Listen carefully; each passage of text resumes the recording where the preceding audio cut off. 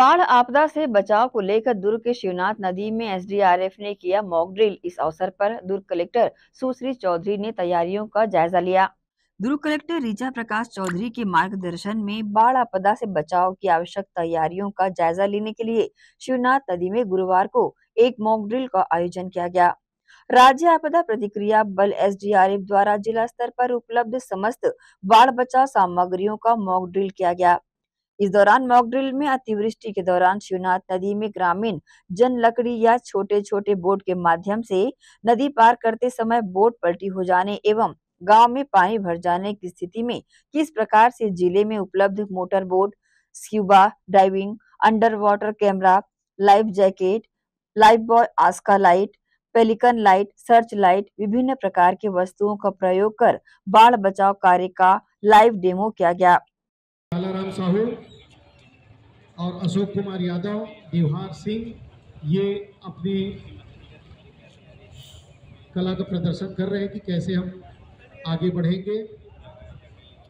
कई बार साथियों बोर्ड की कमी होती है तो एक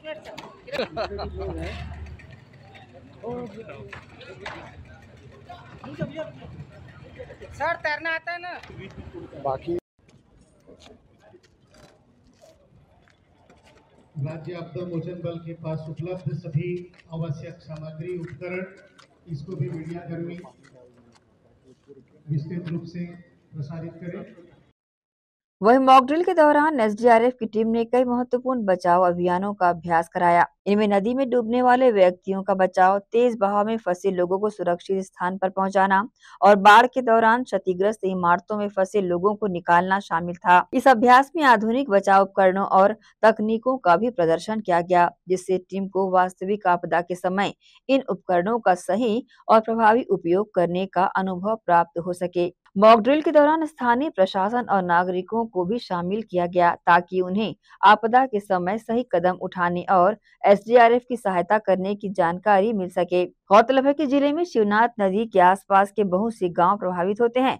बाढ़ प्रभावित क्षेत्र के ग्रामीणों को घरों में उपलब्ध होने वाले सामग्रियों जैसे टीपा, भगोना, ड्रम, मटका, ट्यूब इत्यादि सामग्रियों का राफ्ट बनाना एवं पीने वाले एक लीटर वाटर बॉटल को एयर टाइट कर लाइफ जैकेट बनाकर डूबते हुए व्यक्ति को बचाया जा एसडीआरएफ के जवान और ज़िले के बाढ़ बचाव दल के जवान द्वारा डेमो दिखाया गया। इस मौके पर पुलिस अधीक्षक जितेंद्र शुक्ला, एडीएम अरविंद इक्का सहित अन्य पुलिस, स्वास्थ्य, राज्य आपदा, मोचन बल और नगर सेना के दल एवं ग्रामीण जन उपस्थित रहे।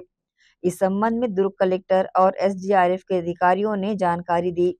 बारिश के टाइम को देखते हुए जो हमारी बाढ़ से प्रिपेयर्डनेस की समीक्षा होती है उसमें एक मॉक ड्रिल आज किया गया है।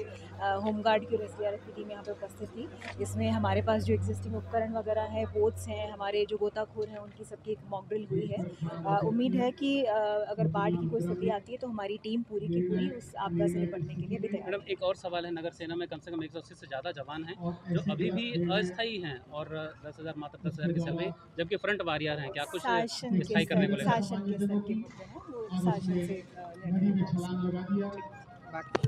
देखिए हर साल हम लोग मॉकड्रिल का मानसून के पूर्व हम लोग मॉकड्रिल करते हैं और इसका उद्देश्य ये रहता है कि आगामी जो अगर मानसून आने वाला है और काफ़ी यहाँ पे दो तीन नदियाँ हैं बड़ी नदियाँ हैं उसमें अगर जलस्तर की वृद्धि होती है कोई व्यक्ति फंसा हुआ है या कोई सुसाइड कर रहा है या तो अन्य कोई डूब रहा है तो उसके लिए हमारी क्या तैयारी है और लोगों को भी हमें जागरूक करना हमारा उद्देश्य है कि लोग घरेलू संसाधन जो हैं, जैसे कि जरिकेन हो गया, बोतल हो गया, उसका इस्तेमाल करके लोग कैसे अपने आप को बचा सकते हैं तो उसका हमने यहाँ पे जीवंत मॉडल किया है। बरसात के लिए हमारी उनतीस एस की टीम है, इसके अलावा तकरीबन तीस हमारे होमगार्ड की टीम है, लगभग साठ लोगों की हमारी टीम है और सात बोट है हमारे पास और इसके अतिरिक्त life buoy, life jacket, petrol, diesel और मिट्टी का तेल, इसके अलावा लाइट्स जो भी हैं कटर हैं हाइड्रोलिक कटर हैं अंडर वाटर कैमरा इत्यादि से हम पूरी तरह से लैस हैं। और कोई भी अगर आपात स्थिति आई तो हम लोग निपटने के लिए सक्षम हैं। मानसून से पूर्व हम लोग सभी जितने हमारे पास में बाढ़ से संबंधित इक्विपमेंट्स हैं उसकी टेस्टिंग कर लेते हैं ताकि ज़रूरत पड़ने पर हम प्रभावित क्षेत्रों पर तत्काल उसे उसे वहाँ तक पहुँचा सके और जो प्रभावित लोग हैं उनके लिए रेस्क्यू कर सके। हमारे पास में पूरे प्रदेश में लगभग हमारी एस की पूरे प्रदेश में हमारे एस की सात टीमें हैं और प्रत्येक संभागवार हमारे पास जितने भी इक्विपमेंट है, सभी संभागों में एसीएन न्यूज़ के लिए दुर्ग से नसीम फारूकी की रिपोर्ट।